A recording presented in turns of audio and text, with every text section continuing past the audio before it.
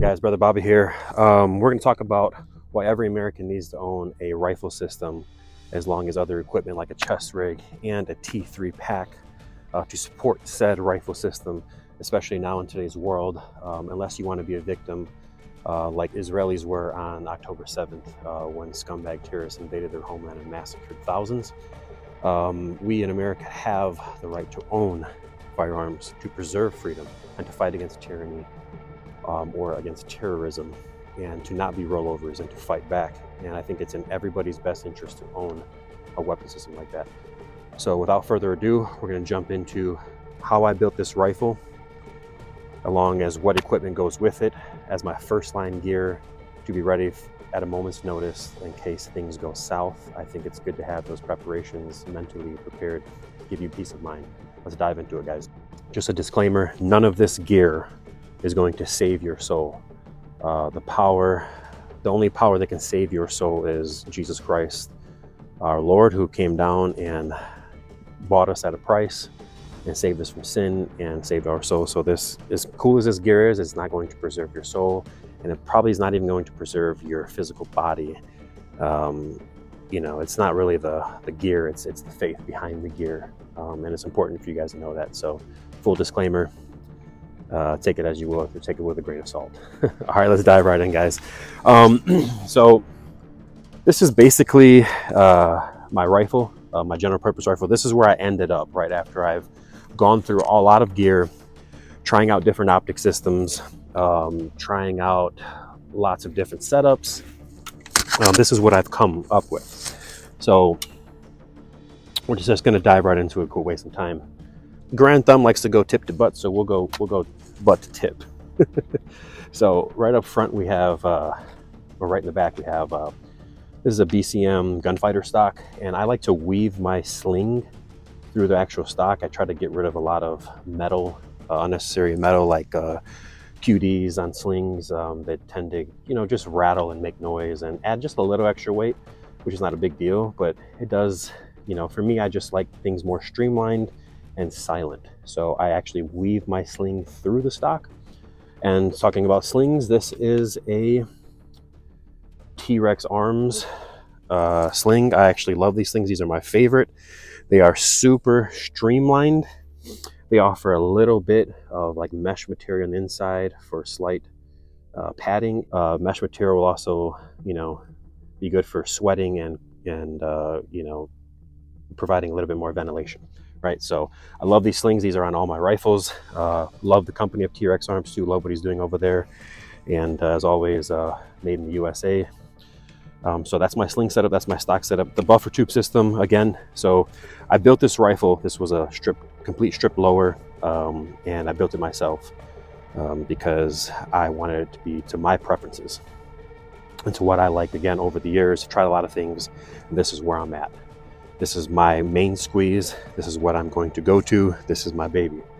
Throughout all the things that I've tried before, this led me to this. And I think, and I hope you guys all find that destination too, uh, because there's a lot of stuff out there that is snake oil, and then a lot of stuff out there that is hype, and it's good to just get down to what really works. Um, so, uh, buffer buffer tube system is just a BCM buffer tube, spring, and buffer uh, for the lower, and um, Magpul uh, K2XL grip because I have big, large hands, and so this um, I can just get a better purchase, and I'm not so overextended on the normal A2 style grips where I'm like this and my trigger finger is like way up here.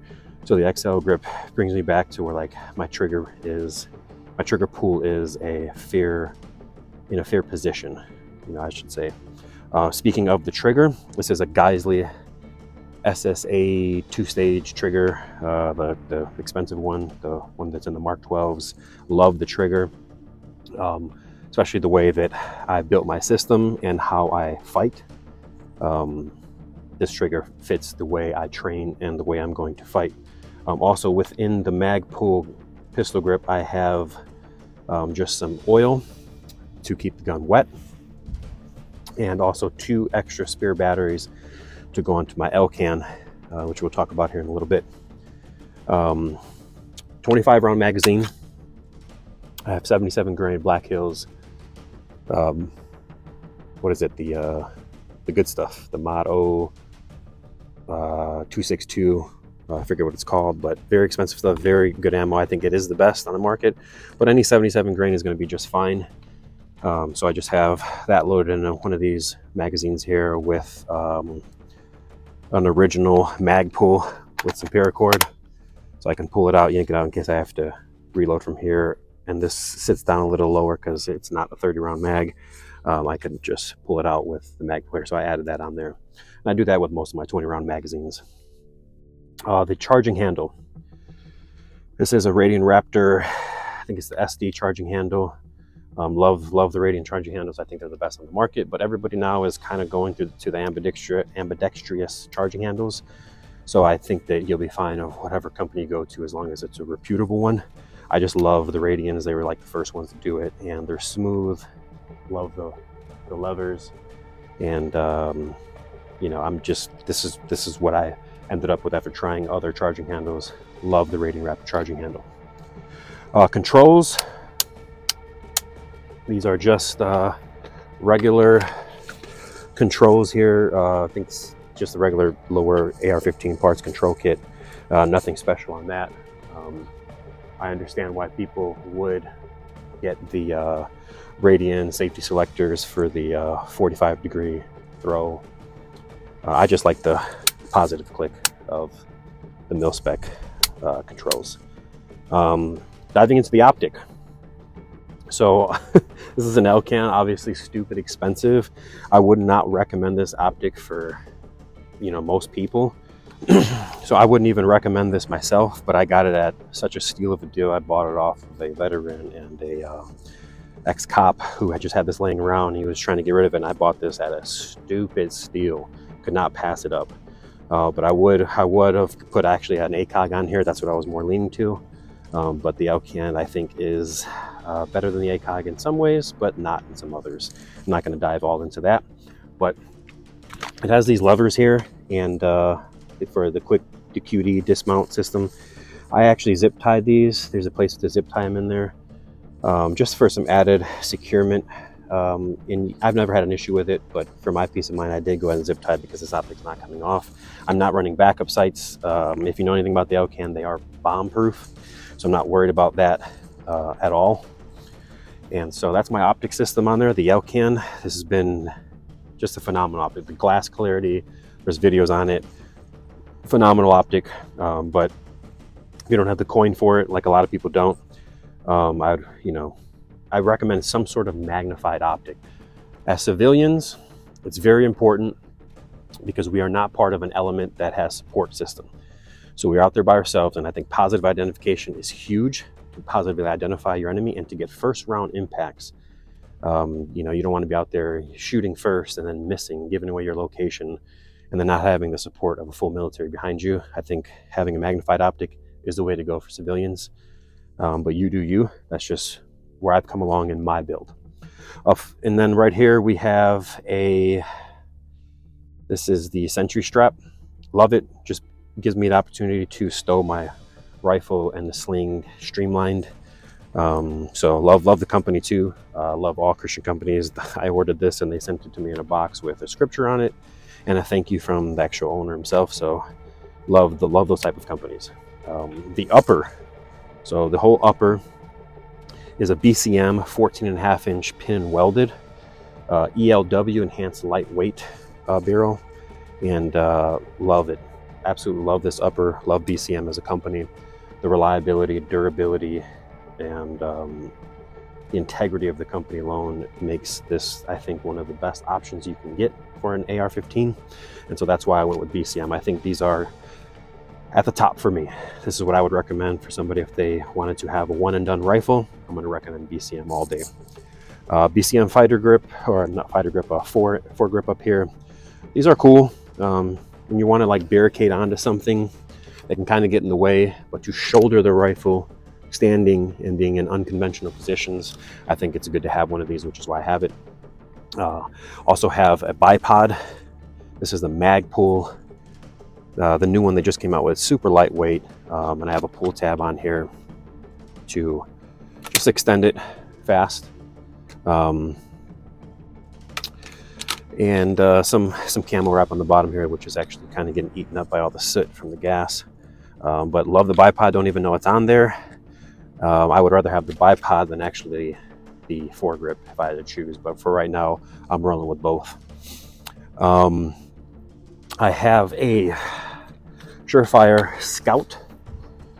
This is the dual fuel. Um, these haven't been the most reliable actually. I think Surefire kind of kind of missed the ball with these. A lot of these have broken down. Um, I actually bought this off of a buddy uh, and it was broke and he sold it to me for stupid cheap. So I actually went with the Surefire light, but I'm not all about spending all this money on, you know, white lights. They're just lights. Um, I think it's good to have Candela, uh, but at three, four, five hundred dollars, it's just like, dude, just throw on an eighty dollar light on there with a mounting system and call it a day. You know, you just need light in general. Um, but I got this at a seal of a deal, and I do love Surefire. Uh, they are a trustworthy brand. I think when it comes to flashlights, uh, they're the best out there. So it's a Surefire Scout Light Pro dual fuel. Um, I, th I, think the lumens is around 1200 or 1500 or something like that. Uh, takes both CR123 and the rechargeables. And uh, that is pretty much sums up the build. The muzzle device I have on there is a Surefire three prong. Um, and that's it, guys. That's my build. That's what I've come along with. Um, the mindset behind the build is I am not looking for a gunfight. I think as civilians, none of us should be. Um, but in the event you are, I take the mindset and approach of shoot, evade, resist, escape. Much like SERE, uh, survive, evade, resist, escape. I'm trying to shoot, evade, shoot back again, evade, create more distance, I never want things to be within really 300 meters. In, a, in my perfect world, perfect situation, I wouldn't want it to be within 300 meters. Um, but I've trained with this firearm system where I can actually put shots at one yard up to five, six, seven, 800 yards, depending on how, um, you know, far you want to take this. The Elcan's glass is amazing. I can easily see pretty clearly out past 500 yards, 600 yards even. Um, and I'm really excited to really take this to much longer distances. Um, so that's my rifle build, and that's where my mindset is at: to shoot, evade, resist, escape. I'm not in the support unit. I do have a squad of people that I will train with. Shout out to my boy David. Uh, we're starting to run, uh, you know, touch up on comms and things like that now. So it's good to have a squad with you. But if you don't have a squad, I think shooting, evading, resisting, escaping at all costs is going to get you out of and, uh, you know the best way to survival. Um, we shouldn't be looking for gunfights, in my opinion. But what happened on October 7th in Israel is why we need to be prepared and have equipment. So that is my rifle. Now with the rifle, it's never just a firearm, right? It's everything that goes with the firearm. You've seen here optic, sling, light, ammo, is things that make this function. But to support the rifle system, we now have a chest rig we're going to talk about. So this is a Mayflower chest rig. Um, I got this off my buddy David. I tried to talk him out of selling it, but he was so persistent on selling to me for months. And I just said, you know, fine, I'll pick it up off you. I bought it off of a steal and I absolutely love this chest rig. Out of all the chest rigs that I've tried, I think this one really fits home for me because over the years of training and trying out all this kit, the reason why I'm making these videos so you guys don't make those same mistakes is that I find out I found out what's best for me. And that is I like streamlined equipment. Right? I don't like things bulking. I don't like things slopping. I like streamlined, keeping the weight tight, uh, keeping the chest rig tight to my body so it's solid, it doesn't move. Um, and I like streamlined equipment. And this chest rig, everything's sewn in, so it makes it extremely streamlined for a chest rig. Uh, the way it hugs my body forms the form factor of it around my body is perfect and it holds four magazines up top which is what I have here four 30 round magazines um, and we'll just dive into the context of so you guys can get an idea of why I think you need to get a rifle and then some sort of support system to go with it like a chest rig or a plate carrier um, plate carriers are not totally my jazz I do think there's a purpose for them I tend to walk away from plate carriers I do still own one but I like do like the chest rig aspect more. I'm like David. As soon as I put plates on, I generally just get uncomfortable and want to take them off. Right? Um, David went in and fought a giant with a slingshot. And not to get off topic, but this is just a modern day slingshot. You know, it's not the slingshot that's going to kill the enemy.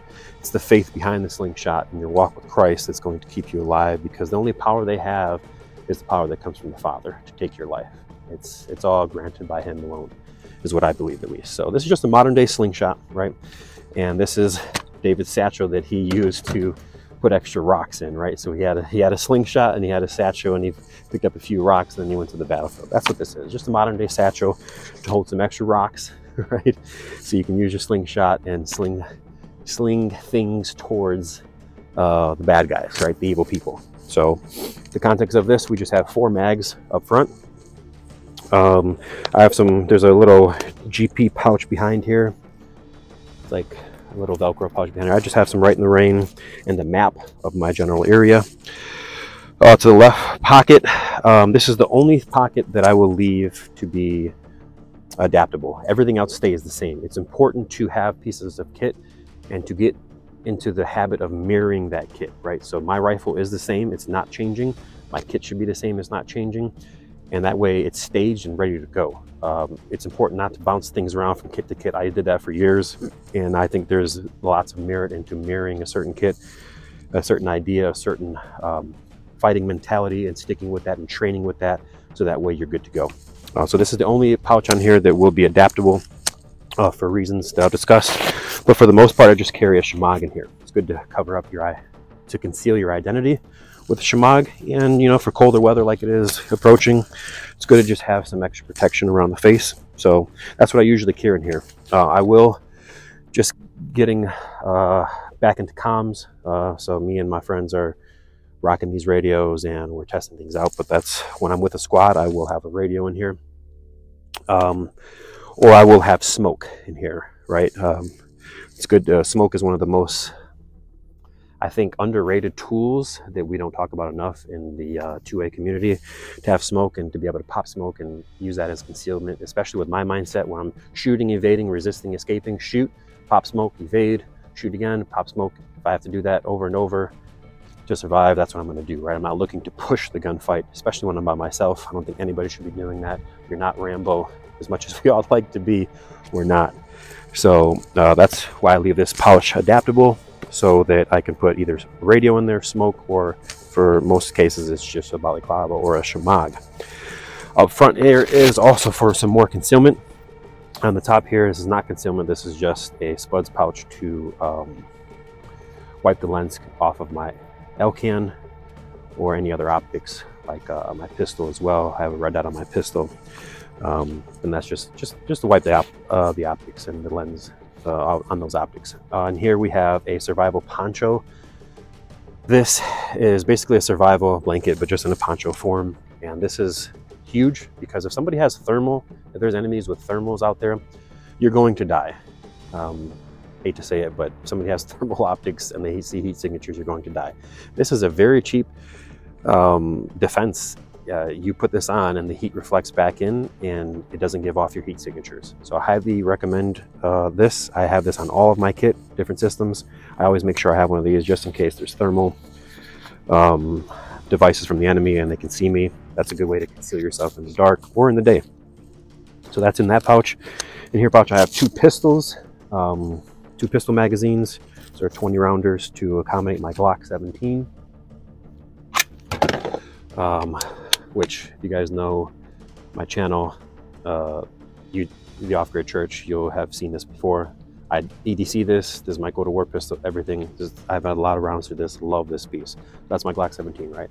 It's always on me. Um, so I have two pistols to, um, you know, support that secondary firearm. They could easily become my first primary if my rifle goes down. Uh, in this pocket, I have an extra 20 round magazine as well as a Right in the Rain pen in there that I just shove in there. But this is a 20 round magazine here. Um, I like running 20s in my rifle system. And the whole point of this kit is to support the things that actually matter most, right? And I think a lot of us get carried away and carry things that are not necessary on here. But the really the thing that you really need fast access to is what you should be carrying, which is ammo, meds, um, and things like, you know, if somebody's got a thermal, let me go ahead and grab this thermal on right here, or I need comms, I need to communicate, or I need to conceal my face and hide better with a balaclava, or I need to put smokes in here and use that for fast access. I don't want to be digging my pack for those things. So this is that's what you should be uh, prioritizing up front on this rig. Um, speaking of meds, uh, behind this fourth, in front of this fourth mag, I have trauma shears, which are just using the retention of the magazine strap in between. This is my like one of my last reloads, so uh, that's why I have it over here, so it's not in the way of my primary reloads, which doesn't even have a bungee retention strap on this one. Pull it out fast, index it fast, and this rig it doesn't have retention, it just has the slots and the cells. It's actually very fast for retention, holds the magazines very well, had never had any issues with it so far. Um, so I have the trauma shears right in front of the magazine up here. Tourniquet, self-explanatory. Um, I have a Sharpie marker I try to camo tape. I try to just blend in as much as I can with things. Um, and then a decompression needle, which I actually don't know how to use, but I'm hoping other people know how to use if they find me. And then in here I have a full IFAK. This was the T-Rex Arms one, the Med one refill kit. That whole thing fits in this pouch here, which is pretty awesome because that has everything you need. Uh, has extra gauze, has a hemostatic, uh, has burn agent, has chest seals, um, you know, and uh, Israeli bandage. So with like a full IFAK, it fits beautifully in there. Um, I think I told you what chest rig this is, right? This is the Mayflower Velocity Systems chest rig. And it just fits perfect. Couldn't recommend this enough, but for me, lots of chest rigs out there, but for me, this has become the standard for me. This is where I'm at with my kit, right? And I have gloves attached on the bottom here um, it's important to just have some gloves on you at always. So these are just kind of dangle right here. They don't get in the way. They're very lightweight. It's not like I have, not like they're heavy bouncing around. These are just gloves, super lightweight. So it's a good place to put those right there. Um, and that's pretty much it for the chest rig. Um, onto the T3 pack. It's just a T3 uh, salt pack with a hydration bladder on the inside of the compartment. Um, as you can see, actually, you know, I'll just remove it. Um, it has, love this pack because it's very streamlined and, and the form factor to your body with the bladder system forms to your back. And just, you know, it's good to have some water. So it's basically a hydration pack, salt pack. Up here we have two mags accessible, which is very cool because um, I can use this as a, you know, shooting bag and place my rifle in between here. And when I need to reload, I just have reloads already accessible right there. Um, I have these clips here that I usually clip my ear pro to, or another pair of extra gloves, or just anything that I put in there last second that I would need. Uh, but mainly my ear pro live out here. When it's staged, they live out here. Obviously, when you're in a gunfighter, you're at the range training, the ear pro immediately comes off and you wear those first. So uh, I just have it there for staging purposes. One chem light in here right now. I usually have all of this filled with chem lights, uh, but I use mine at the last range day big American flag because that's who I'm representing, America. Uh, this is the country I was born in. I didn't have a choice in that. I didn't have a choice, and many people think they have a choice, and they're all depressed and like, well, I want to, you know, be taller or shorter, or I wanted this color eyes, and it's like you were. There's many things you actually don't get to choose, and what country you're born in is actually part of that. So God placed me here, so I have a love for my country. Um, my love for my country does not exceed my love for Christ. Uh, patriotism is a good thing, but it shouldn't trump um, you know, your walk with God and uh, your love and obedience uh, to the Lord and to His commands trump the Constitution. As much as I love the Constitution, which I think the Constitution is a spiritual, spiritual document. Um, by the way, they wrote that is just genius. Um, you know, God is who I answer to at the end of the day. But love my country. I was born here, raised here, served my country. I am a veteran as well. Um, and then on this side, so two rifle mags, and then I have another extra pistol over there. You can shove another tourniquet, whatever you want in there, but it's cool that it leaves these fast access, and it's very small, streamlined. Like you can't overpack this, right? So I just have extra, extra meds, um, you know, another basically spare IFAK in the bottom compartment with some combat wipes, uh, Shemagh, another skull cap, and then up top I have basically just a weapons repair kit. So I have a whole bolt repair kit, uh, camshaft and firing pin, things like that. as well as, um, you know, uh, let me see what else I got here. Let's just open this sucker up. Oh yeah, I got a headlamp in here. Um, some more. Oh, there's another chem light in here. So basically just headlamp, bolt repair kit, extra batteries, um, CR123s for my flashlight, uh, for both my rifle and my pistol, and just uh, redundancy items up top. And on the inside is just a water bladder with a boonie cap that I always have in here, uh, as well as my Shemagh.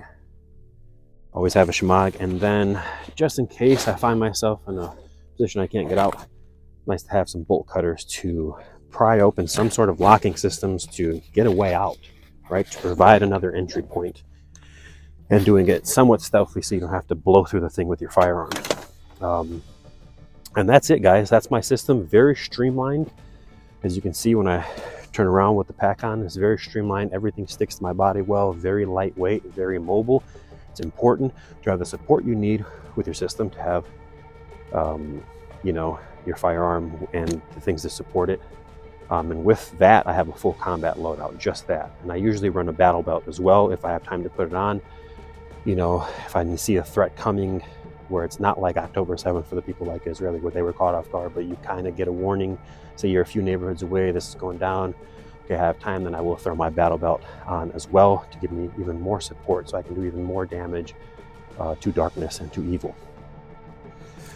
in the case where I do have time to throw a battle belt on, um, goes on, I already, my ABC belt that I carry every day is already an inner Velcro line belt. So this just slaps on over on the outside of it, just like such. Very fast and accommodating. I don't see any situation where I probably wouldn't have this on. Um, but in this situation, boom, just like that, battle belt is on pistol is there. And now I have more capability um, that is very streamlined as well, as you can see. As long as another IFAK right here, or you can use any other materials in there, uh, batteries, chem lights, whatever you need for the mission. But uh, the main thing is to support the pistol. Uh, and it's just good to have a second firearm out on the battlefield if need be. And this strap just goes right over such.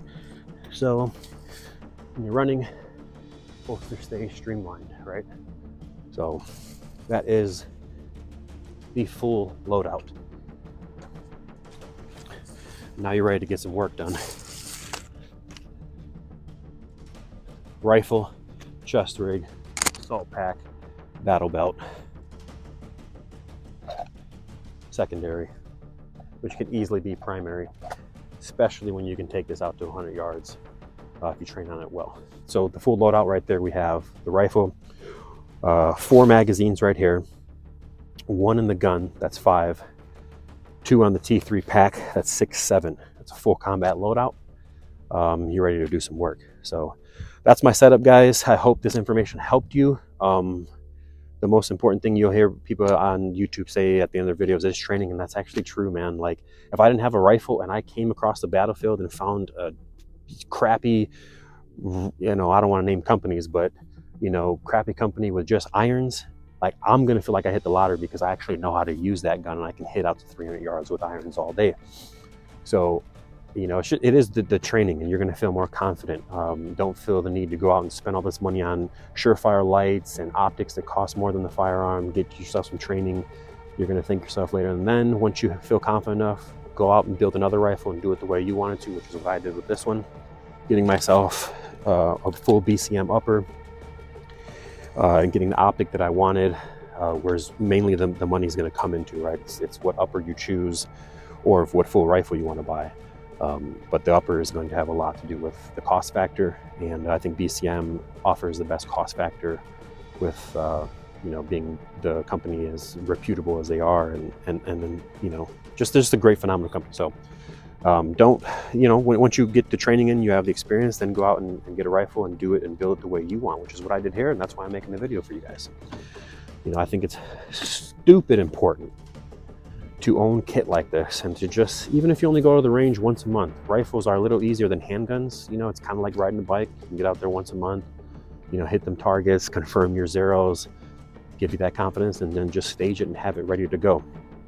Um, and this day and age is so, I'll, I'll, end, I'll end the video with this. Um, at this time in our lives, it's, it's best to be physically in shape, uh, mentally in shape, and spiritually in shape. And to go with that, having the gear set aside, staged, and ready, and being a prepared citizen, um, all accumulates into, you know, a candlelight, if you will. You can be, if something happens like what happened to Israel, you can be a light and, you know, go into the darkness with the 10,000 angels of the Lord with you, you know. And so I'll end it with that. Is Brother Bobby. Hope you enjoyed, and uh, see you guys on the next one. Over and out. Oh wait, I forgot one thing. so on the bottom here I have, you guys are probably wondering, what's that? This is a bungee cord that goes through the drain socket that I put on here. And this just holds my, uh, my, my, my rain jacket, my wet weather jacket here that I have here. Um, not the most secure, but it hasn't moved on me. And I've rocked around with this and it's still attached and doesn't show any signs of falling off. So figured I'd uh, let you in on that before I close this video out.